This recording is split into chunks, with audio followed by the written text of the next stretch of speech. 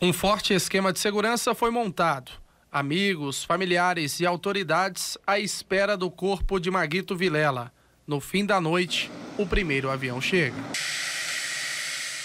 Bom, agora é meia-noite, mais 10 minutos. Neste momento, o filho de Maguito Vilela chega aqui no aeroporto de Jataí, Daniel Vilela, bastante emocionado.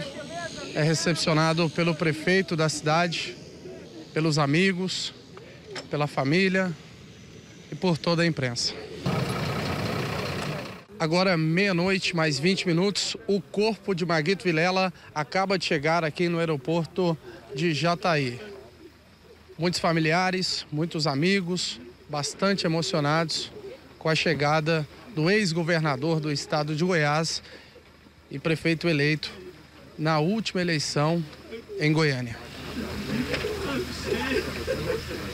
O caixão de Maguito Vilela acaba de chegar aqui no ginásio para a realização do velório.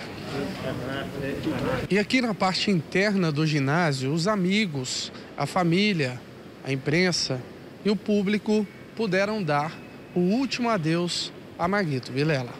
Maguito Vilela é uma pessoa muito especial para nós, jataiense, generoso. Eu admiro, é lamentável, lamentável. Perdemos uma pessoa brilhante.